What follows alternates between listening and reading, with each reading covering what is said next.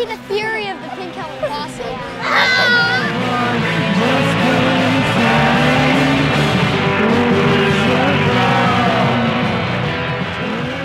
So we thought it would be a really neat thing for our whole family to do.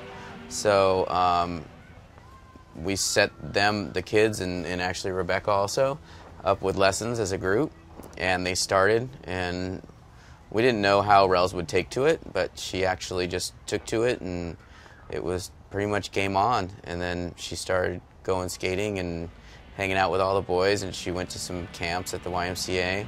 I think five last summer. Yeah.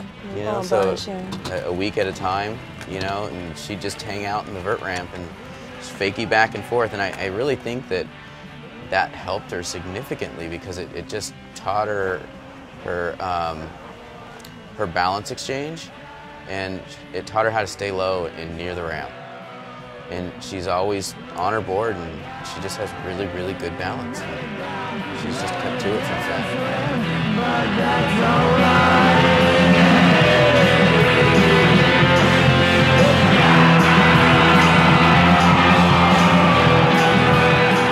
Pretty cool.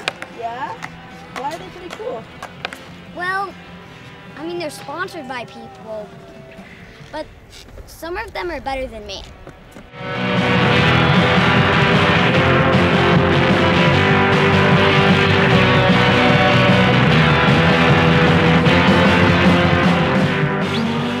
Actually skates with them pretty well.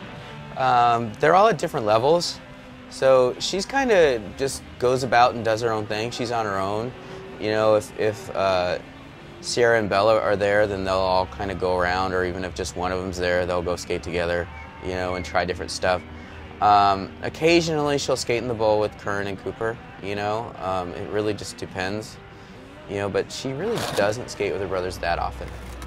You know, she kind of does her own thing usually. They play games with her. Yeah, they you tease know, her. They they they play skate tag all the time, and she's part of the you know at the Encinitas YMCA. She's part of one of the kids, you know, and she goes there, and all the all the boys say hi to her, and they joke around together, and they skate off and play tag, and you know it's never been an issue at all. She's not.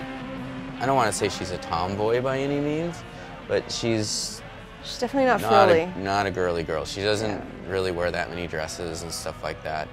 You know, um,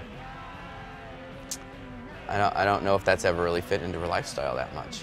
You know, it's kind of funny because people think it's all about the pink being like the girl and, and everything and and and they have to wear a pink helmet or they have to wear a pink board or, or you ride a pink board or have pink pads or you know wear a pink tutu or something like that. It has nothing to do with that whatsoever. Pink, you know, when it when it came up was was really just a gender identifier. You know, you have everybody when they have a baby, you know, it's like, oh, do I buy pink or do I buy blue?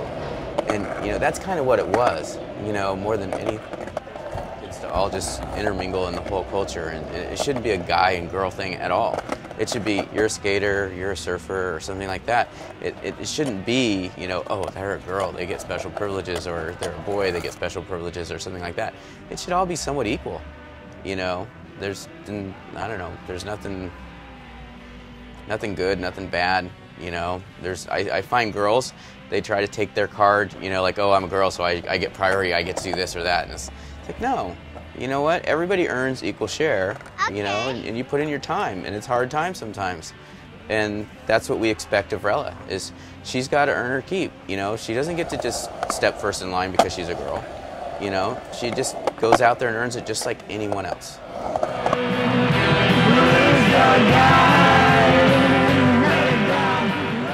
I never thought it was a girl boy thing. I mean, the pink helmet posse thing kind of came up by accident, I guess. It was a total accident. we were just kind of laughing at them because they all were tooling around the skate park, just you know, with their little pink helmets on, and it was, you know, more than anything, it was just about spending time together as a family. Because then we all ha- go to the skate park, and we all, you know, some of us better than others skate. but you know, the whole idea was to be able to do things together, not having, you know, half the family sitting on the sidelines.